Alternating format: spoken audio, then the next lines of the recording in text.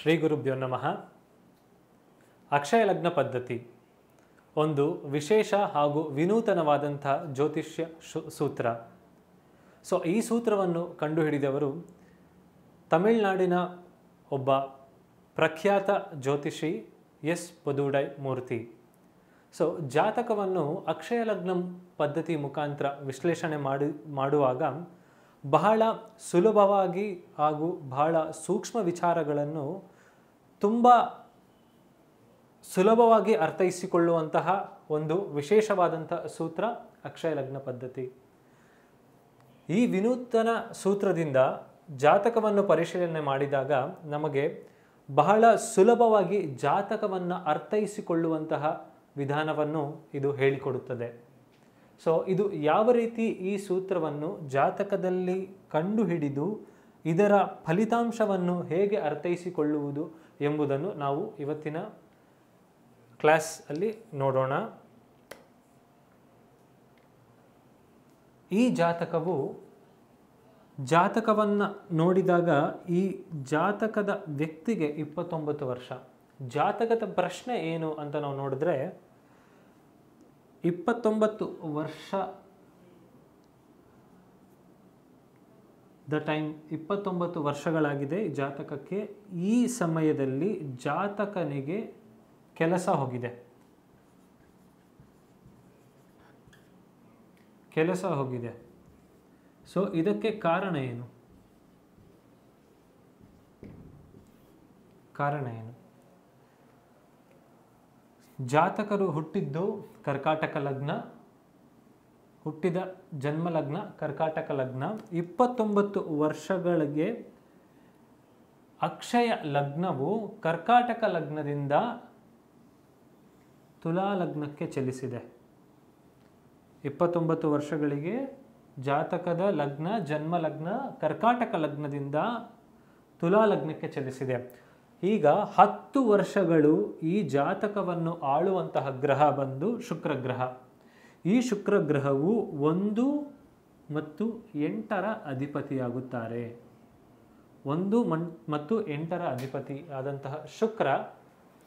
ಶುಕ್ರಗ್ರಹವು A L P ಲಗ್ನದಿಂದ ಕರ್ಮಸ್ಥಾನದಲ್ಲಿ ಕುಳಿತಿದ್ದಾರೆ. ಎ ಎಲ್ ಪಿ ಲಗ್ನದಿಂದ ಕರ್ಮಸ್ಥಾನದಲ್ಲಿ ಶುಕ್ರ ಗ್ರಹವು ಕುಳಿತಿದೆ. ಹಾಗೂ ಎ ಎಲ್ ಪಿಯು ವಿಶಾಖ ನಕ್ಷತ್ರ, ಎ ಎಲ್ ಪಿ ಅಕ್ಷಯ ನಕ್ಷತ್ರವು ವಿಶಾಖ ನಕ್ಷತ್ರದ ಮೂರನೇ ಪಾದದಲ್ಲಿ ಚಲಿಸುತ್ತಿದೆ. ಇಪ್ಪತ್ತೊಂಬತ್ತು ವರ್ಷಗಳ ಈ ಟೈಮ್ನಲ್ಲಿ ಎ ಎಲ್ ಪಿ ಅಕ್ಷಯ ನಕ್ಷತ್ರವು ವಿಶಾಖ ನಕ್ಷತ್ರ ಮೂರನೇ ಪಾದದಲ್ಲಿ ಚಲಿಸುತ್ತಿದೆ. ವಿಶಾಖ ನಕ್ಷತ್ರದ ಅಧಿಪತಿಯು ಗುರುಗ್ರಹ. ಸೊ ಎ ಎಲ್ ಪಿಗೆ ಮೂರು ಮತ್ತು ಆರನೇ ಮನೆ ಅಧಿಪತಿ ಆದಂತಹ ಗುರುಗ್ರಹ ಎ ಎಲ್ ಪಿಗೆ ಕರ್ಮಸ್ಥಾನದಲ್ಲಿ ಕುಳಿತಿದೆ. ಈಗ ಎ ಎಲ್ ಪಿ ಒಂದು ಮತ್ತು ಎಂಟರ ಅಧಿಪತಿಯು ಕರ್ಮದಲ್ಲಿ ಕುಳಿತಿದೆ ಹಾಗೂ ವಿಶಾಖ ನಕ್ಷತ್ರದ ಅಧಿಪತಿಯು ಗುರು ಆಗಿರೋದ್ರಿಂದ ಮೂರು ಮತ್ತು ಆರನೇ ಮನೆ ಅಧಿಪತಿಯಾದಂಥ ಗುರು ಸಹ ಕರ್ಮಸ್ಥಾನದಲ್ಲಿ ಕೂತಿದೆ. ಎ ಎಲ್ ಪಿಯ ಒಂದು ರೂಲ್ ಪ್ರಕಾರ ಎ ಎಲ್ ಪಿ ಲಗ್ನಾಧಿಪತಿ ಅಥವಾ ಎ ಎಲ್ ಪಿ ನಕ್ಷತ್ರಾಧಿಪತಿಯು ಆರು, ಎಂಟು, ಹತ್ತು, ಹನ್ನೆರಡನೇ ಭಾವಗಳಲ್ಲಿ ಕುಳಿತಾಗ ಎ ಎಲ್ ಪಿ ಲಗ್ನಾಧಿಪತಿ ಅಥವಾ ಎ ಎಲ್ ಪಿ ನಕ್ಷತ್ರಾಧಿಪತಿಯು ಆರು, ಎಂಟು, ಹತ್ತು, ಹನ್ನೆರಡನೇ ಭಾವದಲ್ಲಿ ಕುಳಿತಾಗ ಬಹಳ ಉತ್ತಮವಾದಂಥ ಫಲಗಳನ್ನು ಜಾತಕದವರು ಅನುಭವಿಸಲು ಅನುಭ, ಅನುಭವಿಸುವುದು ಕಷ್ಟ ಎಂದು ಹೇಳಲಾಗಿದೆ. ಸೊ ಈ ಜಾತಕದಲ್ಲಿ ಸಹ ಎ ಎಲ್ ಪಿ ಲಗ್ನಾಧಿಪತಿಯಾದಂಥ ಶುಕ್ರ ಹತ್ತನೇ ಮನೆಯಲ್ಲಿ ಹಾಗೂ ಎ ಎಲ್ ಪಿ ನಕ್ಷತ್ರಾಧಿಪತಿಯಾದಂತಹ ಗುರು ಸಹ ಹತ್ತನೇ ಮನೆಯಲ್ಲಿ ಉಚ್ಚವಾಗಿ ಕುಳಿತಿದೆ. ಸೊ ಇಪ್ಪತ್ತೊಂಬತ್ತು ವರ್ಷಗಳಲ್ಲೇ ಕೆಲಸ ಹೋಗುವುದಕ್ಕೆ ಕಾರಣವೇನೆಂದರೆ ಎ ಎಲ್ ಪಿ ಅಕ್ಷಯ ನಕ್ಷತ್ರವು ಇಪ್ಪತ್ತೊಂಬತ್ತು ವರ್ಷದ ವಯಸ್ಸಿನಲ್ಲಿ ವಿಶಾಖ ನಕ್ಷತ್ರ ಮೂರನೇ ಪಾದದಲ್ಲಿ ಚಲಿಸುತ್ತಿದೆ. ವಿಶಾಖ ನಕ್ಷತ್ರ ಮೂರನೇ ಪಾದದ ನವಾಂಶ ಮಿಥುನ ರಾಶಿಯನ್ನು ಸಕ್ರಿಯಗೊಳಿಸುತ್ತದೆ. ಸಕ್ರಿಯ ಅಥವಾ ಆ್ಯಕ್ಟಿವೇಶನ್ ಸೊ, ಮಿಥುನ ರಾಶಿಯನ್ನು ಆ್ಯಕ್ಟಿವೇಶನ್ ಮಾಡುತ್ತದೆ. ಸೊ, ಇದರ ಸಲುವಾಗಿ ಮಿಥುನ ರಾಶಿಯು ಕರ್ಕಾಟಕ ರಾಶಿ, ಅಂದರೆ ಕರ್ಮಸ್ಥಾನಕ್ಕೆ ಹನ್ನೆರಡನೇ ಭಾವವಾಗಿ ವರ್ತಿಸಿ ಅದು ಸಕ್ರಿಯಗೊಳ್ಳುತ್ತದೆ.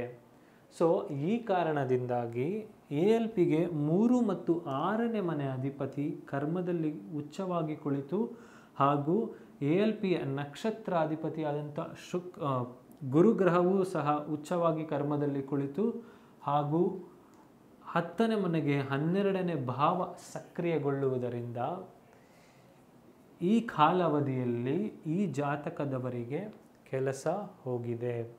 ಇಲ್ಲಿ ಇನ್ನೊಂದು ವಿಚಾರ ನಾವು ನೋಡಲೇಬೇಕು ಏನಂದರೆ, ಕರ್ಮಸ್ಥಾನಾಧಿಪತಿ ಆದಂತಹ ಚಂದ್ರನು ಎರಡನೇ ಮನೆಯಲ್ಲಿ ಸಹ ನೀಚನಾಗಿದ್ದಾನೆ. ಆ ಈ ಸಲುವಾಗಿ ಕರ್ಮಕ್ಕೆ ಹನ್ನೆರಡನೇ ಭಾವ ಸಕ್ರಿಯಗೊಳ್ಳುತ್ತದೆ. ನಾವು ಇದೇ ಭಾವವನ್ನು ನಕ್ಷತ್ರಾಧಿಪತಿಗೆ, ಕರ್ಮಾಧಿಪತಿಗೆ ತಗೊಂಡ್ರೂ ಸಹ ನಮಗೆ ಇಲ್ಲಿಂದ ಆರನೇ ಭಾವದಲ್ಲಿ ಕರ್ಮಾಧಿಪತಿ ನೀಚನಾಗಿದ್ದಾನೆ. ಸೊ ಈ ಎರಡು ಉದಾಹರಣೆಗಳು ತುಂಬ ಬಲವಾಗಿ ಕೆಲಸ ಮಾಡಿದ್ದರಿಂದ ಈ ಕಾಲಾವಧಿಯಲ್ಲಿ ಈ ಜಾತಕನಿಗೆ ಕೆಲಸ ಹೋಗಿದೆ. ಇಲ್ಲಿ ಇನ್ನೊಂದು ವಿಚಾರ, ಕರ್ಮಸ್ಥಾನಕ್ಕೆ ಹನ್ನೆರಡನೇ ಮನೆ ಸಕ್ರಿಯಗೊಂಡಿದೆ ಹಾಗೂ ಅಕ್ಷಯ ಲಗ್ನಕ್ಕೆ ಅದು ಭಾಗ್ಯ ಸ್ಥಾನದ ಆಕ್ಟಿವೇಶನ್ ಅಂದರೆ ಒಂಬತ್ತನೇ ಮನೆಯ ಆಕ್ಟಿವೇಶನ್ ಮತ್ತು ಎ ಎಲ್ ಪಿಗೆ ಮೂರಕ್ಕೆ ಏಳನೇ ಮನೆ ಸಹ ಆಕ್ಟಿವೇಶನ್ ಅಂದರೆ ಸಕ್ರಿಯಗೊಂಡಿದೆ. ಸೊ ಇದರ ಫಲಿತಾಂಶ ಏನೆಂದರೆ, ಜಾತಕನಿಗೆ ಒಂದು ಕೆಲಸ ಹೋದರೂ ಸಹ ತನ್ನ ಪ್ರಯತ್ನದಿಂದ ಇನ್ನೊಂದು ಕೆಲಸದ ಭಾಗ್ಯವೂ ಸಹ ಇದೆ ಎಂಬುದನ್ನು ಬಹಳ ಕೂಲಂಕುಷವಾಗಿ, ಬಹಳ ಅರ್ಥಪೂರ್ಣವಾಗಿ ತಿಳಿಸಿಕೊಡುವಂತಹ ಒಂದು ವಿಶಿಷ್ಟ ಸೂತ್ರ ಅಕ್ಷಯ ಲಗ್ನ ಪದ್ಧತಿ.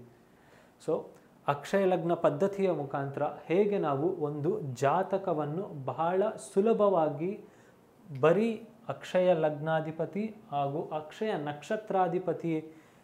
ನಕ್ಷತ್ರಾಧಿಪತಿಗಳ ಪ್ಲೇಸ್ಮೆಂಟ್ ಎಲ್ಲೆಲ್ಲಿದೆ, ಅವರ ಪ್ರಭಾವಗಳು ಹೇಗಿದೆ ಎಂಬುದನ್ನು ಸೂಕ್ಷ್ಮವಾಗಿ ಗಮನಿಸಿ ಭಾಳ ಅರ್ಥಪೂರ್ಣವಾಗಿ ಜಾತಕವನ್ನು ವಿಮರ್ಶೆ ಮಾಡಬಹುದು. ಸೊ ಇದೇ ರೀತಿ ಅಕ್ಷಯ ಲಗ್ನ ಪದ್ಧತಿ ಹೇಗೆ ಕೆಲಸ ಮಾಡುತ್ತದೆ ಎಂಬುದನ್ನು ನಾವು ಬಹಳ